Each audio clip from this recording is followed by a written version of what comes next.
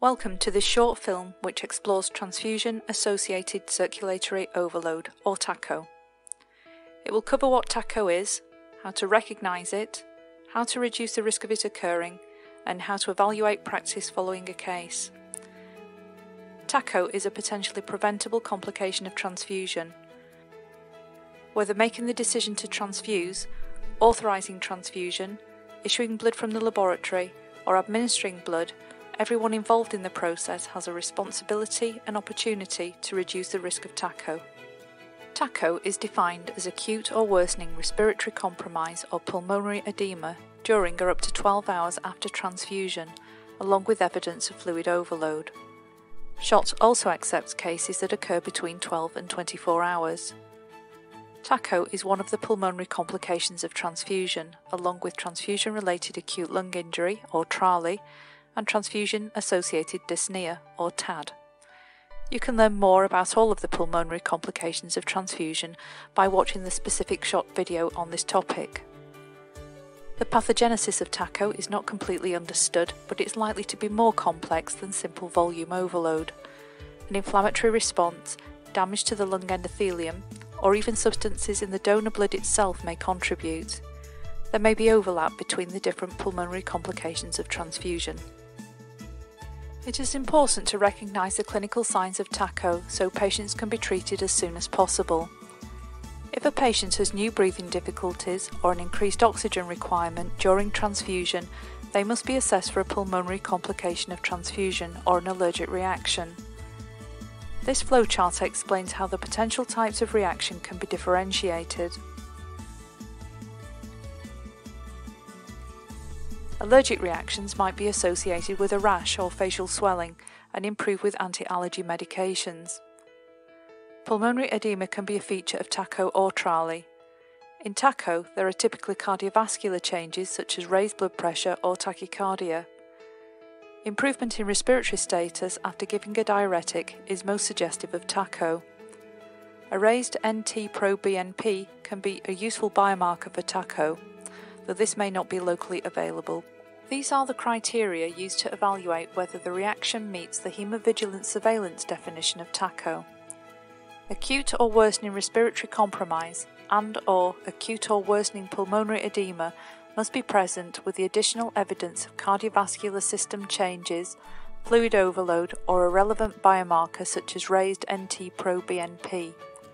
A minimum of three criteria must be met Cases not meeting these criteria are assessed for TAD, TRALI, or respiratory symptoms associated with an allergic reaction.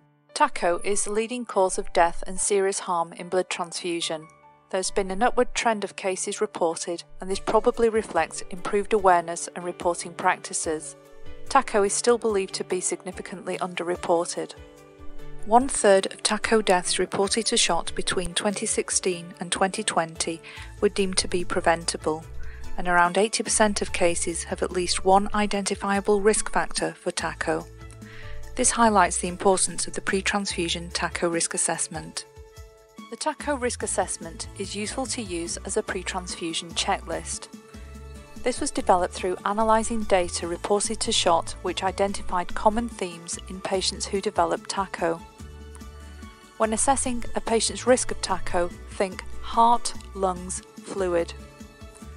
Does the patient have an existing diagnosis of heart failure or aortic stenosis? Are they on a regular diuretic? Do they have severe anemia? Is there pre existing pulmonary edema or respiratory symptoms of undiagnosed cause? Has the patient received intravenous fluids in the previous 24 hours or is there a positive fluid balance? Do they have peripheral edema, low albumin, or significant renal impairment. All of these factors increase the risk of TACO. If risks for TACO are identified, the risk of continuing with blood transfusion must be balanced with not transfusing blood. Sometimes it's safer to wait if temporary risk factors can be resolved. At other times, the risk of withholding blood is greater than the risk of TACO. This assessment provides an opportunity to individualise blood transfusion so the patient's needs are met, while reducing their risk of developing TACO. This should be embedded into the transfusion process. A number of simple steps can be taken to reduce the risk of TACO. Ensure the patient receives an appropriate dose of red cells to meet their haemoglobin target. In non-bleeding patients, this can be done using a manual calculation or an online calculator based on the patient's weight. In many cases reported to SHOT, there is evidence of overtransfusion. Transfuse a maximum of a single unit of red cells at a time and review the patient's symptoms and haemoglobin level before administering more. The transfusion laboratory scientific staff have an important role in checking there is an appropriate indication for transfusion and that the volume requested is appropriate. Consider giving a prophylactic diuretic if there are no contraindications. Nursing staff administering the transfusion have a key role in monitoring the fluid balance and vital signs, particularly oxygen saturation. A falling oxygen saturation is an early warning sign of pulmonary edema, but can also be caused by the patient's pre existing conditions such as pneumonia. Therefore, it's essential to document the start time of the transfusion, the observations and time of recording, and the stop time of each unit administered. This will help identify if changes in the patient's clinical status is transfusion related or due to other causes, and this can be difficult to interpret in critically ill patients. Every case of TACO should be used as a learning opportunity to improve practice and reduce risk for other patients. This is a structured TACO review tool which should be used after any case of TACO. It helps to evaluate systems and identify opportunities for best practice. This will ensure optimal safety measures are in place to help protect patients from TACO. In summary, TACO is a leading cause of transfusion related death and serious harm. In many cases, TACO is preventable. Performing a pre transfusion risk assessment in the form of a checklist helps identify patients at risk and provides an opportunity to put risk reduction measures in place.